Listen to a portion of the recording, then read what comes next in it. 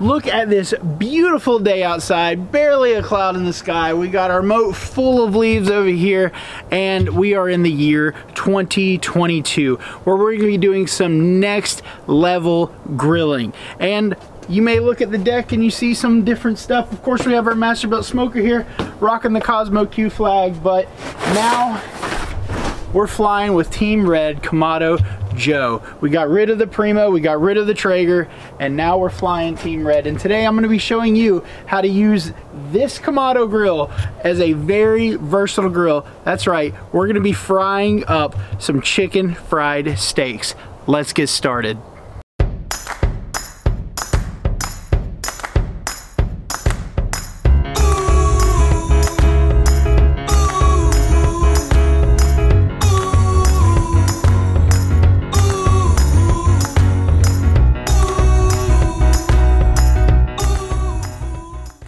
Now this grill is brand new, you can tell because it's still white inside and everything else, but we also are rocking our KJ big block lump right here, and we're gonna be bringing this grill up to 350 degrees. We're just doing a soft fry on these uh, cube steaks that we got going, but we gotta bring this grill up to temp, and of course, we're gonna be rocking our grill gun, as always, to speed up the process. One of the great things about Kamado Joe is it comes with the divide and conquer system. Again, we're gonna be dirtying this up, but today we're not using our heat deflector plates. We're just gonna slowly bring this up to 350 degrees. I got a good fire started in there. Now come on down here, I'm gonna show you. We're gonna open it up just about that much. And then we are going to shut this, open the top of the daisy wheel open, and then we're gonna bring it up to right about there. And that should set it at 350. While this comes up to temp, Let's step inside our chef's kitchen and take a look at our ingredients. The oil we'll be using today is peanut oil and we're gonna be using it in this old school cast iron pan because we're keeping it old school. This is something that my grandmother used to make, my mom made a couple times growing up, and we're just gonna bring this, we're gonna pour it in like that. Go ahead and get that sexy. Now, we're not going deep with this. We're not gonna fully saturate it. We're gonna do a light where it's just gonna cover the sides of it, a light fry, and it's just gonna cover the sides, then we're gonna flip it and bring it up to temp. So we're gonna take this cast iron plate outside, go ahead and place it on the grate and let it come up to temperature with the grill.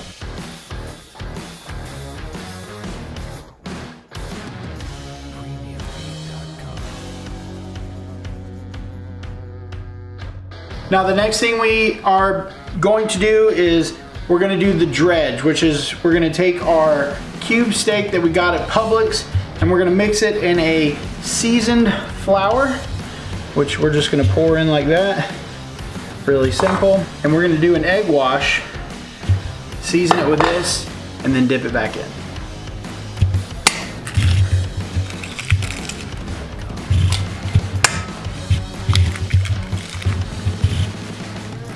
We've got to mix this together, so we're going to go ahead and uh, scramble up the eggs here. And yes, I'm doing it in cast iron, it's okay. So just mix this around, get a good mixture. Then we're gonna add some milk.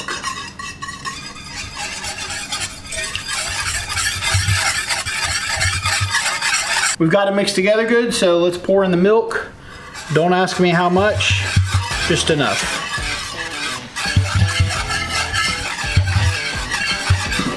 Should be good right about there. Keep mixing it together, and then it's about to get real messy. This is where your kitchen's gonna get really, really dirty. We've got our cube steak. You can use top round, bottom round. This is already pre-tenderized, and it comes up super easy. So you wanna get it in there and make sure you pat it in. You wanna get a lot of flour on there, just like that. Flip it, Hit it on top. It's probably better to use one hand on this because, like I said, it's going to get messy. Now, put it in the egg wash, like so. Beautiful. And we bring it back over and pat that down and get it nice and covered. When you're doing this, we're gonna let this sit out for about five to 10 minutes on this rack right here so that we can let it absorb some of that flour in. I find that it gets a really good crust when we do it that way. And you think we're done, but we're not. We're gonna finish these two cube steaks right here. We're gonna get them in the double dredge and then we're gonna add some more flavor to kick it up a notch.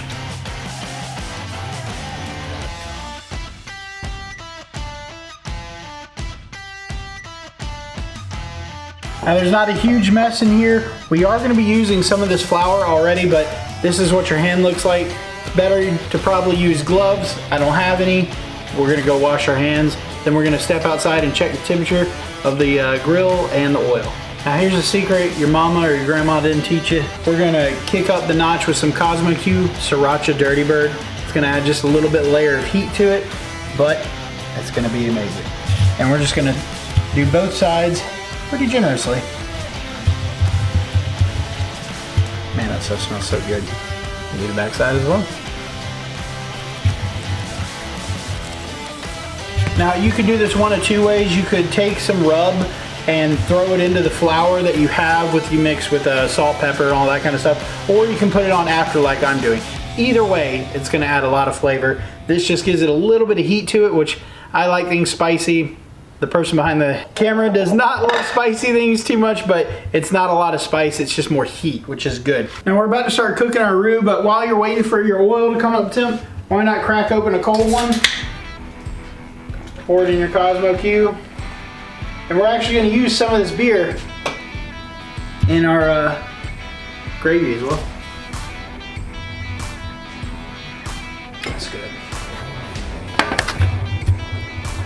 Grill sitting at about 350, 375, which is right where we wanted it. Well, we wanted it a little bit lower at about 325, but we're opening it up. That'll bring it down. The oil was sitting at about 325. So we're gonna take our patty, Shake off anything excess. Come in close for this shot. Right here. And you see we're not saturating it, we're just getting it where it's just over the side like that. We're gonna let it sit there for a few minutes till it's golden brown, then we're gonna flip it and do the same for the other three as well.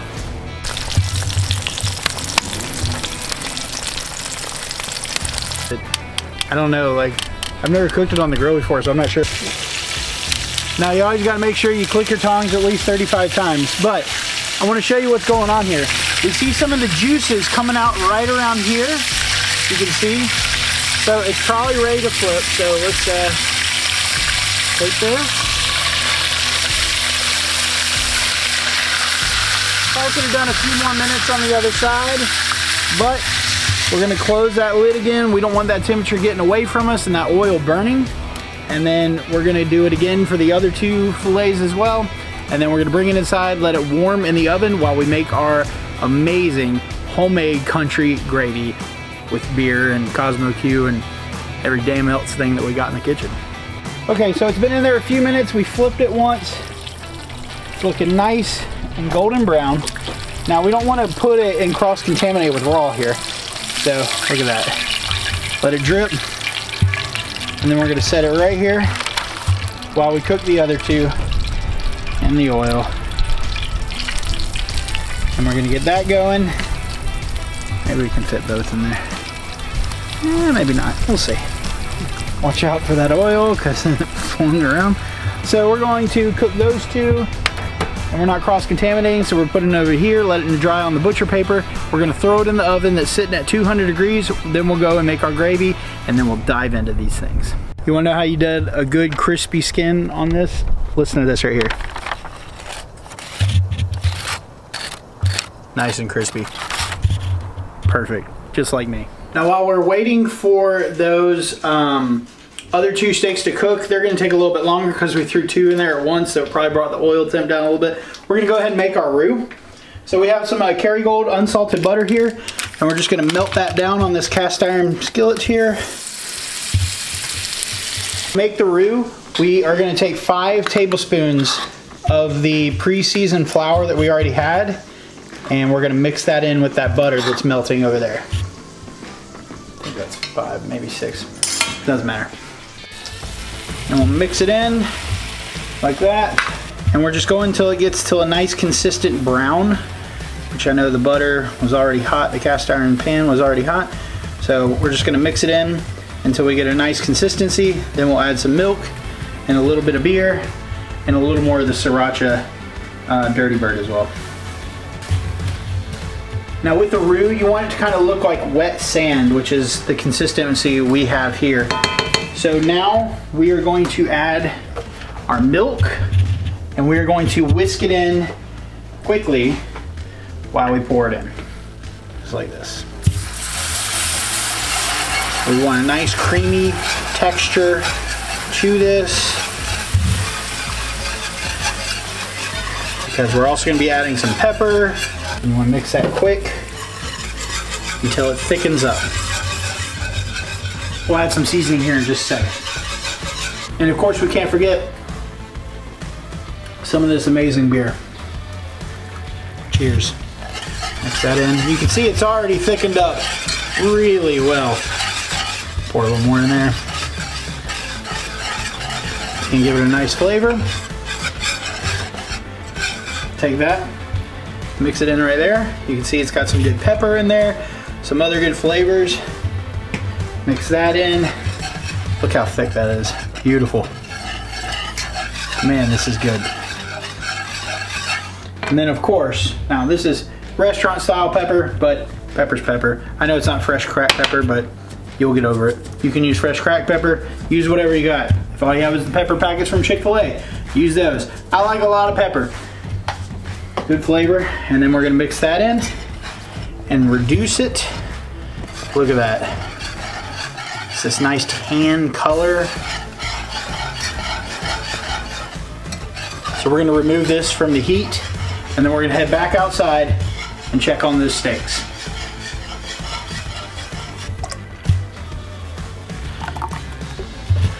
We don't want this going to waste. Let's head outside. The steaks here, the cube steaks have been going about maybe three or four minutes. That's about how long it took to make that gravy. So let's check on them. Oh yeah, beautiful. So we're just gonna flip it. Boom.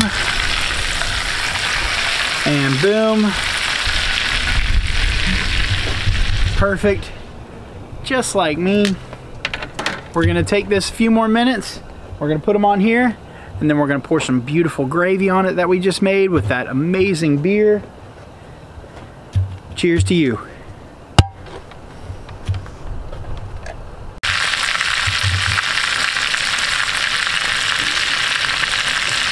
Been going for a minute. Burp the grill. Beautiful. Close, sexy shots. The money shot is what they call it in some industries.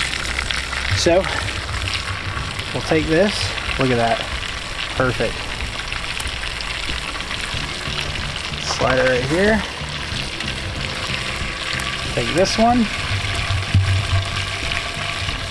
Let it drip. Put it right there. Now we're going to shut down the KJ. She did her job. Let's take these beautiful cube steaks, country fried, chicken fried, whatever the hell you want to call it.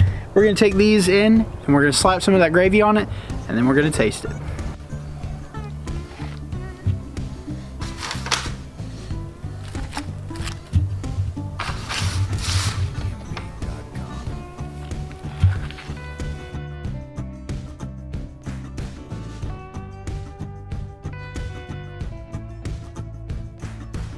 Got our homemade gravy here, beautiful. Let's spoon it on top.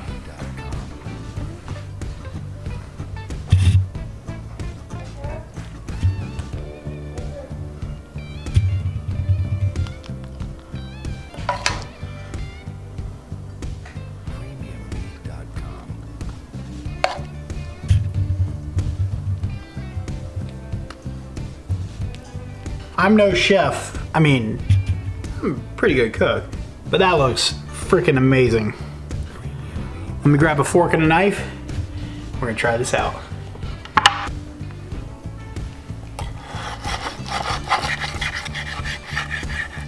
Cooked perfectly. That was a little bit of a thicker steak, but here we go.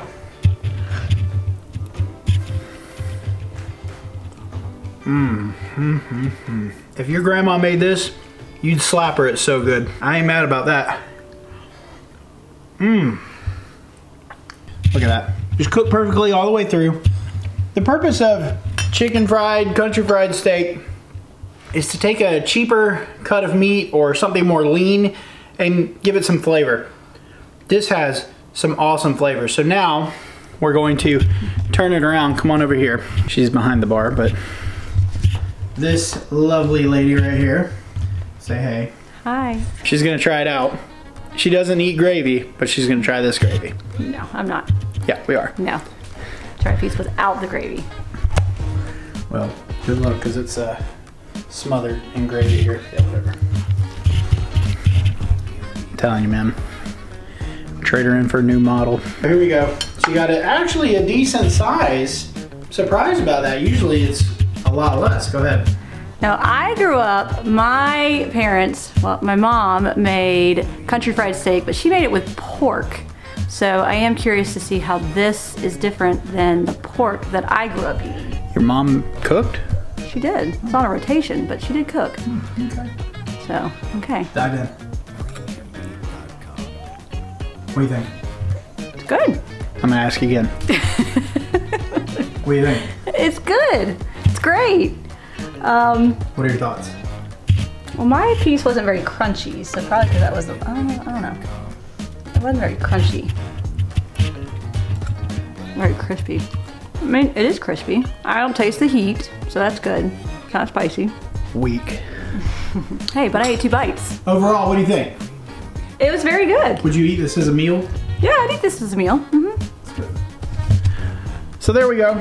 Pretty simple. She didn't uh, dive into the gravy there, but I'm telling you, man, this homemade gravy is fire. It is so delicious. Here's to you. Here's to 2022. Make sure you eat well, you do well. We'll see you next time. Mmm, freaking good.